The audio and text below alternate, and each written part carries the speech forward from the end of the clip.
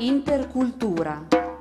Chi dice interculturale, se dà tutto il suo senso al prefisso inter, dice interazione, scambio, apertura, reciprocità, solidarietà.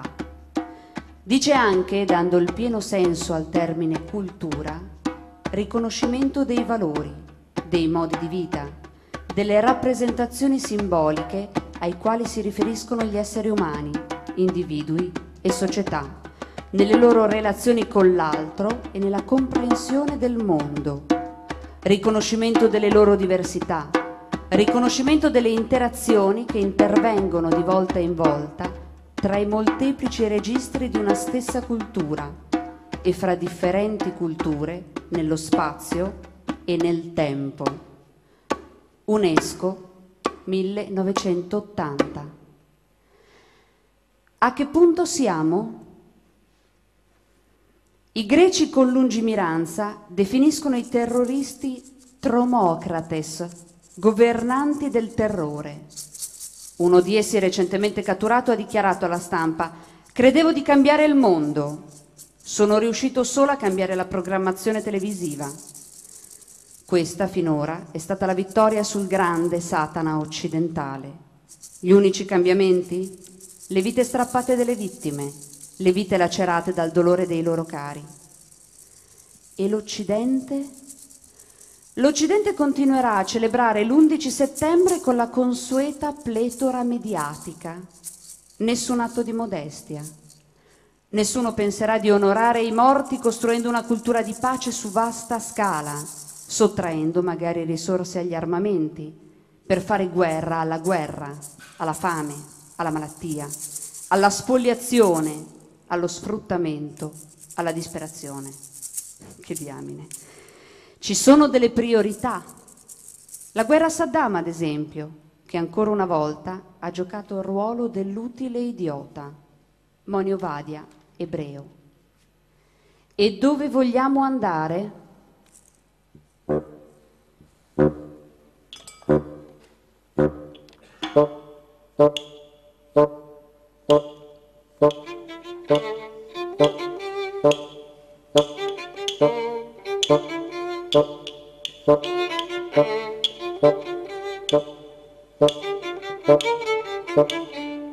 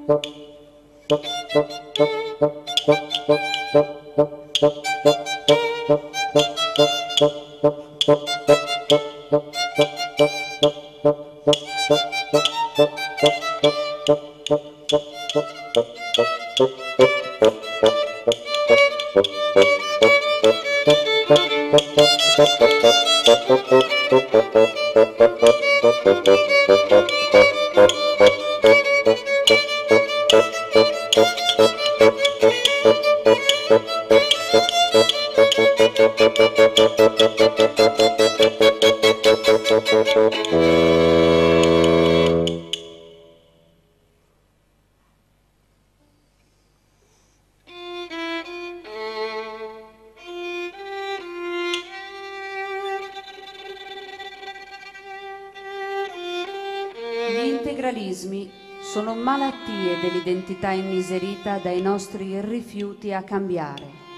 Si nutrono di miseria, materiale e intellettuale. Contro gli integralismi estremi il trattamento traumatico non ha efficacia.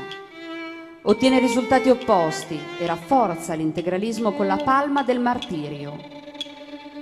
L'unica terapia affidabile è quella che agisce sulla mentalità, la scuote, la fa evolvere dall'interno.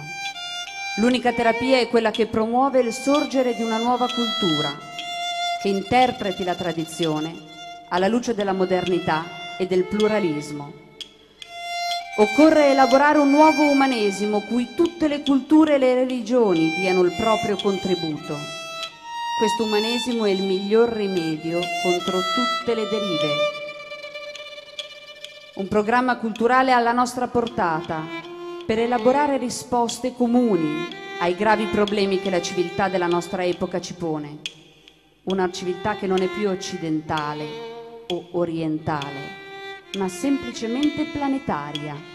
Mohammed Talbi, musulmano.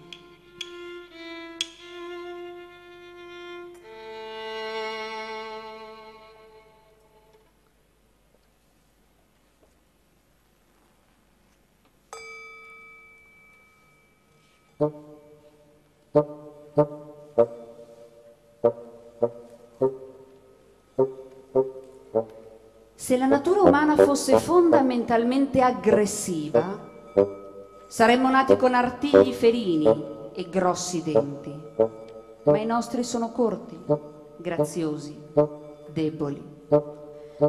Questo significa che non siamo equipaggiati per essere aggressivi. Persino la dimensione della nostra bocca è molto piccola. Penso quindi che la natura umana debba essere fondamentalmente gentile. Dalai Lama, buddista.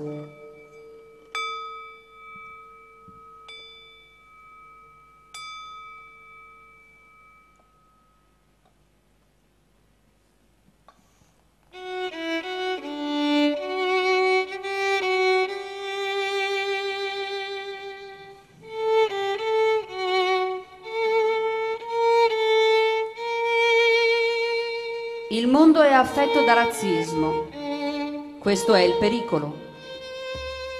Paradossalmente è anche affetto da ideali democratici e questa è la speranza. Mentre commette degli errori ha tuttavia gli strumenti potenziali per correggersi. Ma di fronte a sé non ha un millennio per introdurre tali cambiamenti, né ha la possibilità di scegliere di continuare nel vecchio modo il futuro che gli si chiede di inaugurare non è così sgradevole al palato da giustificare i mali che ci affliggono oggi. Porre termine alla povertà, estirpare il pregiudizio, liberare una coscienza tormentata, costruire un domani di giustizia, rispetto e creatività. A noi si offre l'occasione, mediante un'iniziativa non violenta di massa, di evitare un disastro e di creare un nuovo spirito di armonia tra classi e razze. In quest'ora carica di tensione siamo tutti sul banco degli imputati, ma ci è dato ancora il tempo necessario per andare incontro al futuro con la coscienza pulita. Martin Luther King, cristiano, battista.